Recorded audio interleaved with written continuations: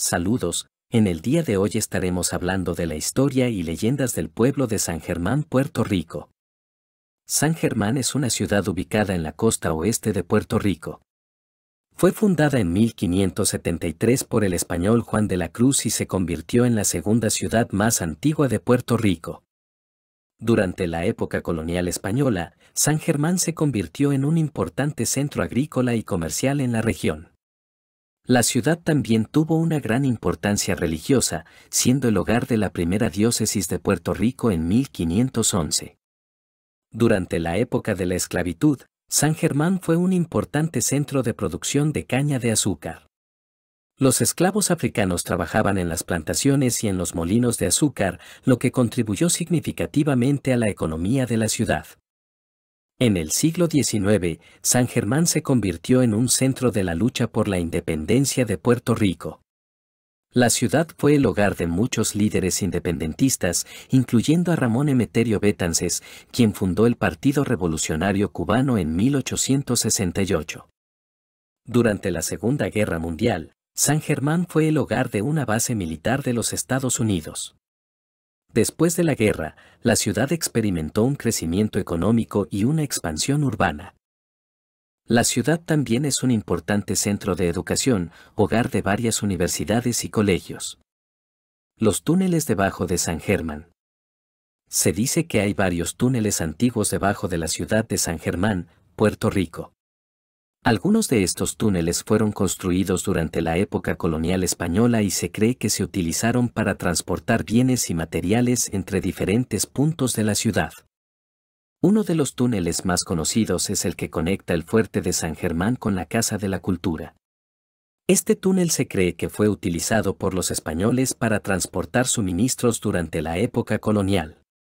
En la actualidad, este túnel se encuentra cerrado al público y no está disponible para ser visitado. También se dice que hay túneles debajo de la Plaza de la Constitución, que se utilizaban para transportar agua y suministros desde el río Guanajibo hasta la ciudad. Se cree que estos túneles se encuentran cerrados y no están disponibles para ser explorados. Otro túnel que se rumorea que existe en San Germán es el que conecta la iglesia de Portacoeli con la Casa Morales. Según la leyenda, este túnel fue utilizado por los monjes para escapar durante los ataques piratas. Es importante destacar que, aunque existen muchas historias y rumores sobre los túneles de San Germán, la mayoría de ellos no han sido investigados ni confirmados. Además, muchos de ellos se encuentran cerrados y no están disponibles para ser explorados por el público. Leyendas. Hay varias historias y leyendas de misterios que se han contado sobre San Germán, Puerto Rico. Aquí hay algunos de los más conocidos. 1. La casa embrujada de la calle Luna. Se dice que esta casa abandonada en la calle Luna está embrujada por los espíritus de los antiguos dueños de la casa. Se cuenta que se pueden escuchar voces y ver sombras moviéndose dentro de la casa durante la noche. 2. La casa de la familia Pacheco. Otra casa embrujada en San Germán es la casa de la familia Pacheco, donde supuestamente suceden fenómenos paranormales como puertas que se abren y cierran solas, objetos que se mueven y luces que se encienden y apagan. 3. La leyenda del Pozo del Diablo. Esta leyenda cuenta que en la antigua hacienda El Diamante, cerca de San Germán, había un pozo profundo que se decía que era habitado por el diablo. Se cree que algunas personas que se aventuraron a mirar dentro del pozo han desaparecido misteriosamente. 4. El monje de la Catedral de San Germán. Se dice que la Catedral de San Germán está embrujada por el espíritu de un monje que solía vivir allí. Se cuenta que su fantasma se aparece a veces en la iglesia, especialmente en la noche.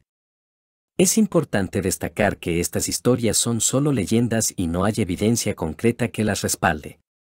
Sin embargo, forman parte del folclore y la cultura popular de la región y son contadas de generación en generación.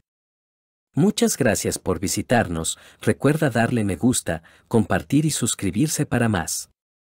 Hasta la próxima.